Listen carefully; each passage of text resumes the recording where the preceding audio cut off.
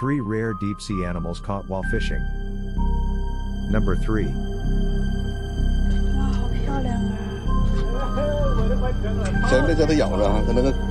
Number 2.